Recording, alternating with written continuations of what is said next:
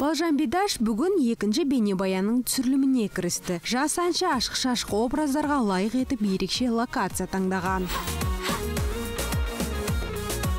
Балжанның жеке шығармашылығындағы кезекті туындысы бақытты күй деп аталады. Композиция армениялық әншіге тиесілі. Бұл ән лилит аванесянның әні. Ол бұрын өзі орындаған содан кейін мен одан рұқсат сұрап алдым. Сондай бір көңілді ән әрқашан жарқырап жүр деген сияқты ғой. Мотивация беретін ән сол енді бейнебаянмен ә, халыққа әдемі көңіл күй сыйлаймыз деген ойдамыз.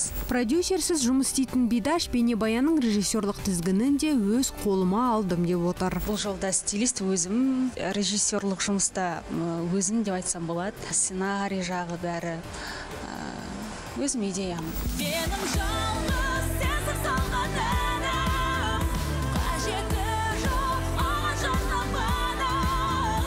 бидаш осыдан үш ай бұрын дебюттік клипін жарыққа шығарған еді. Кешу тобында жүріп миллиондап қаралым жинайтын балжанның жалғызым трегіне таспаланған туындысы тыңдарман көңілінен шықпаған. Видеоның ютубтағы қаралымы небәрі 160 мың. Себебі әртүрлі ә, миллион болып кетпесе де бірақ кішкене көрермен жинауға ол мезгіл әсер етті десем болады. Жаз айы деген сияқты ол кезде ә, көрермен активності болмайды. Екіншіден енді ол менің қалауымдағы ән қалауымдағын жасағым келді. Солай халыққа ұсындым. Экскешулік ару енді лирикалық емес ырғақты ән ұсынбақ. Бикеш тіпті тойда да өнер көрсетуге ниетті. Енді тойдың әні деп те айта алмаймын орташа негізінде. Қатты ондай бір тойский деп айта алмаймын. Бірақ ә, тойда билеуге ыңғайлы сондай өте көңілді ән. Ал балжанның су жаңа туындысы тыңдарманын көп күттірмей бірер аптада дайын болады көңіліңде де өміріңде де болсын